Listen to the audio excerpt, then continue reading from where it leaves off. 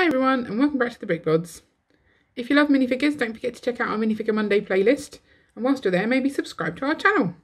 This week's minifigure is from series 13 and it's the Hot Dog Man. Now, Ian had nothing to say about this one. He said it's pretty self-explanatory. It's a guy dressed up as a hot dog.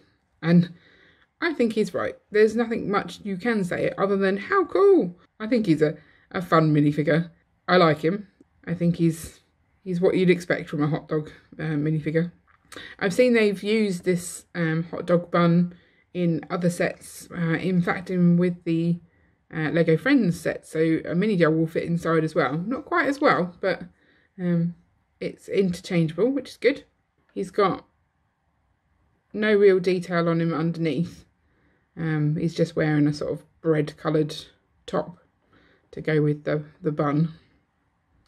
I quite like the the way, um, well, I don't know if it's just me, but I see this squiggle sort of a quiff on his head, kind of like his hair. I think it's quite funny. Um, I'm not sure what his face is saying, whether he's happy about being a hot, hot dog man or not. Would you be? I think he's definitely usable in our city. I'm planning on having a, a hot dog stand somewhere, um, maybe several. So having him as an advert would work quite well. I'm not sure how convenient it would be to be the seller of the hot dogs dressed up like this. I think it's probably going to be a bit tricky to to sell hot dogs wearing this. I mean, for starters, if you if you look round, um, his sausage comes out quite a way. Can't continue. I've, I've made myself giggle. Um, but yeah, it's it's it would get in the way of sort of getting close enough to the counter. I would say. Um, he's become quite iconic, I would say. You see him um, as one of the, the more popular minifigures. He doesn't have an alternative head, it's just this face. So I think he's just trying to be be pretty happy.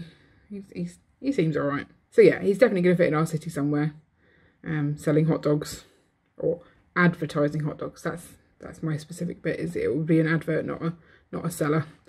I guess because he'd be too hot as well, cooking in that, that outfit. I guess we could also have a maybe a fun run somewhere with all these um, mascot people dressed up. Um, the London Marathon always amuses me, the, the costumes you get on people. So maybe we could set something like that up in the seat uh, in the streets of our city. So what do you think of the hot dog man? Let me know in the comments below and don't forget to like and subscribe so you don't miss an update. See you later.